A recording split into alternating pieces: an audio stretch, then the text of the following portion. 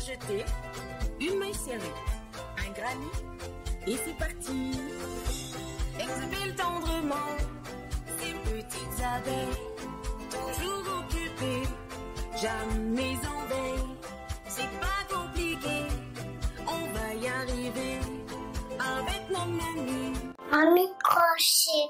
Bonjour à tous, j'espère que vous allez bien. On se retrouve aujourd'hui pour un nouveau papa. Petit pas à pas, tranquille, facile, plaisant à faire.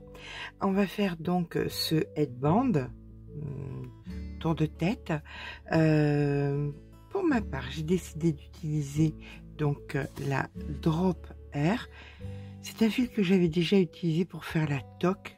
J'ai adoré, vraiment très très doux. C'est un mélange d'alpaga, de laine, mais qui ne pique absolument pas. Euh, euh, c'est un, fil excessivement doux. Euh, vous le trouverez donc sur la boutique Laine du Monde. Je vous mets le lien, bien évidemment, en barre d'informations. Eh bien, écoutez, c'est parti.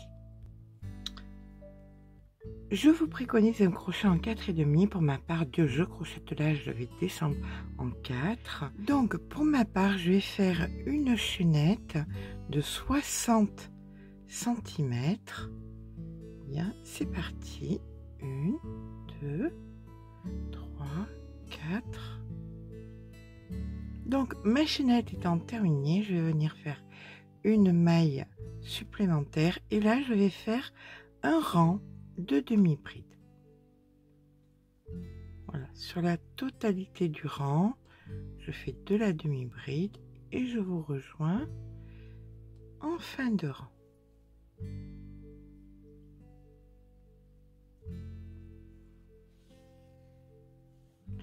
C'est un très très joli fil qui est très doux, très très voluptueux, très euh, très moelleux et qui tient très chaud. Et eh bien voilà, une fois que j'ai mis 60 cm, hop, ici.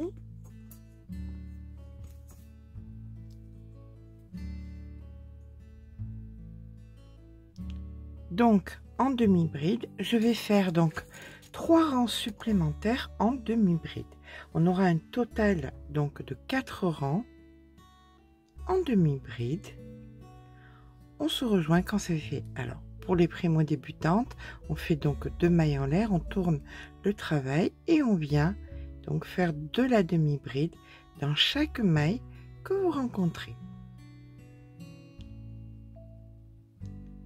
Et ce, bien écoutez, on aura un total de 4 rangs de demi-bride. On verra si ça suffit. Si ça suffit pas, on en rajoutera un autre. Mais je pense que 4 suffiront amplement.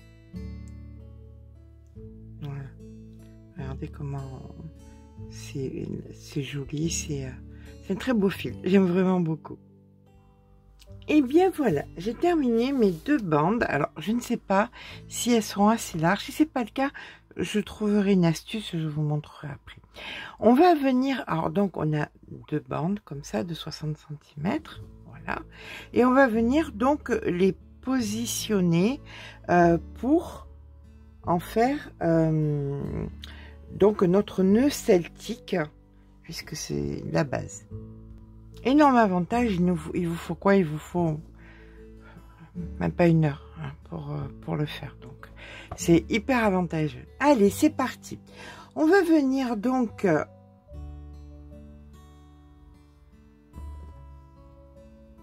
faire comme ça. Alors, est-ce que vous voyez bien? Voilà. Je vous laisse bien remarquer, donc ici vous posez, vous venez par-dessus et vous venez comme ceci par-dessus faire une espèce de croix. D'accord? On va prendre à présent le second qu'on va venir poser autour, comme ceci. Voilà. Là, vous allez prendre ce côté et vous allez venir le placer dessous comme ceci. Et maintenant, celui-ci, vous allez venir le passer dessous ici et le récupérer par là. D'accord? Est-ce qu'on suit toujours? Voilà. Alors, on a un morceau qui est là et un morceau qui est là. Il nous reste juste la dernière petite manipulation, c'est attraper celui-ci et venir le passer par-dessus. Voilà. Et maintenant, on va venir tirer délicatement pour que ce soit bien au centre. Chaque fois, on remet. Alors, on tire. Voilà. On positionne. On remet. On fait en sorte que ce soit bien au centre. Que ce soit bien joli. On tire. On remet. Que ce soit bien équivalent, puisqu'après, on va venir le joindre. D'accord? Donc voilà.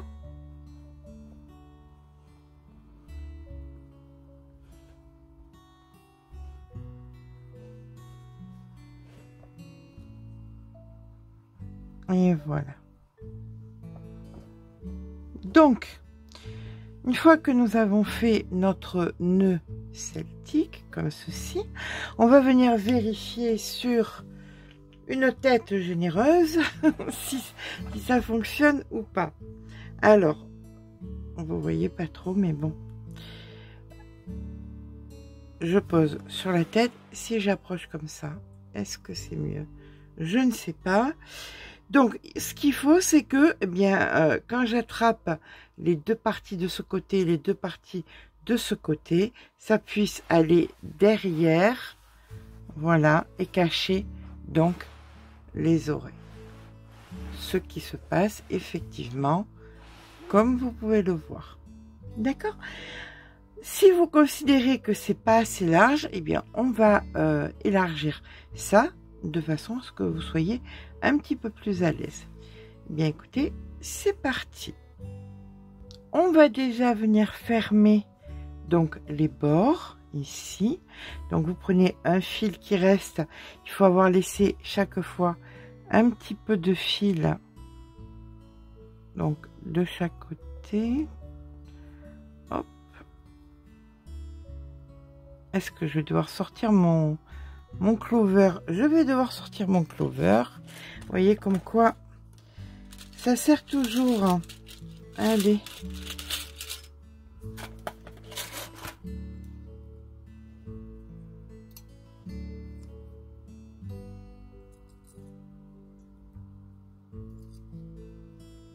Il y a certains fils comme ça qui sont très très vaporeux et c'est très compliqué de les passer à travers des aiguilles. Et voilà à quoi ça sert ce genre de choses. Voilà. Et là maintenant, nous allons venir tout simplement joindre les deux bords. Est-ce que vous voyez? Alors, on va déplacer un peu, ça sera mieux. Vous ferez exactement pareil de l'autre côté. Hein. Ça, c'est très important. Tout ce que je fais de ce côté, eh bien, vous le ferez de l'autre côté, bien évidemment. Voilà. Une fois que nous sommes ici, on va venir joindre ici et voilà, on va venir mettre le fil de l'autre côté.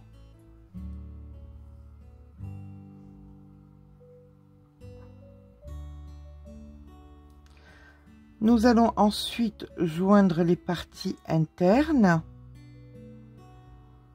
Tout ça, on le rentrera après, hein, les fils, ne vous inquiétez pas. Voilà. Là, on va venir joindre les parties internes. J'aurais dû laisser un petit peu plus de fil. Est-ce que celui-là va avoir plus de bonne volonté? Bien sûr que non. Donc, comme quoi, vous voyez, ce n'est pas un gadget. Voilà. Allez, hop, c'est parfait. Et là, nous allons venir... Alors, vous choisissez, donc c'est ce côté qui sera au-dessus. Et vous allez venir prendre le brin ici qui est vers vous et le brin ici qui est vers vous. Hop, comme ceci. Et on recommence. Celui d'en bas, celui qui est vers vous, le brin qui est vers vous. Voilà. Et vous faites ça sur la totalité.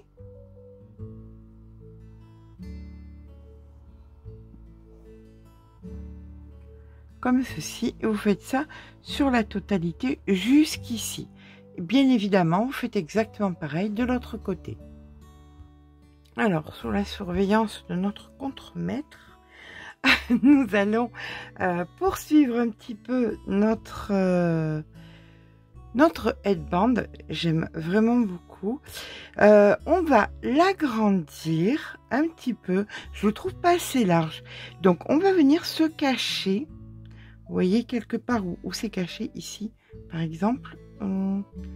C'est pas le bon sens. On va dans, ce sens. Voilà. On va venir se cacher ici et on va venir s'ancrer là dessous.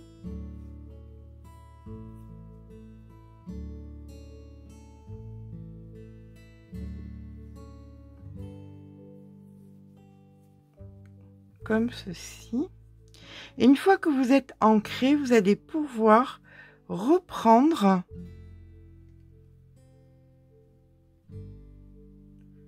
refaire des demi-brides sur la totalité, sur tout le contour. Une maille en l'air et on est parti pour refaire des demi-brides. On cache le fil en même temps. Ce qui est fait n'est plus à faire. Voilà.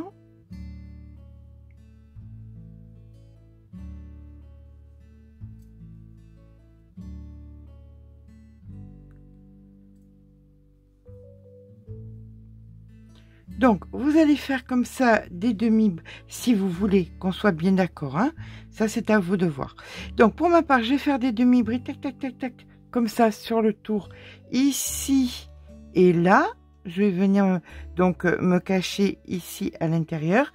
Et ensuite, je ferai exactement la même chose de l'autre côté pour donner plus d'épaisseur euh, au headband. Bon, bon, bon. Et eh bien, voilà j'ai rajouté un petit peu de hauteur. Je préfère, je trouve que c'est euh, bien plus joli comme ça. C'est quasiment réversible. Hein. C'est à vous de, une fois que vous positionnez euh, votre nœud celtique, vous voyez euh, quel est le, plus, le, côté le plus joli des deux. Qu'est-ce que tu en penses, Maurice? Tu t'en manques, hein, tu as raison. eh bien, écoutez, il vous reste plus maintenant qu'à joindre derrière donc on va venir euh, s'ancrer, hop, avec une aiguille et du fil. Et on va faire tout simplement du, euh, de la maille dans de la maille, de façon à ce que ce soit bien pratique. Alors au niveau du poids, à mon sens, on a utilisé euh, même, même pas 35 grammes. Donc on est, on est vraiment, euh, la pelote faisant 50 grammes, on a... Alors là pour joindre, si monsieur veut bien, si je le dérange pas, on va venir en face et on prend, vous voyez, le brin extérieur, brin extérieur.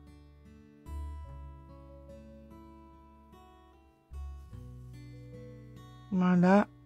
Et on fait ça sur la totalité de façon à ce que la couture soit invisible. Voilà, eh bien écoutez, je finis ma couture et je vous fais des photos. Parce que c'est toujours beaucoup plus parlant. Et puis comme euh, il y a grosse patate en, plein milieu, bien évidemment, je ne pourrais pas vous montrer ce que ça donne euh, une fois posé sur le, sur le bureau. Donc euh, je vais vous faire des photos, ce sera beaucoup plus simple.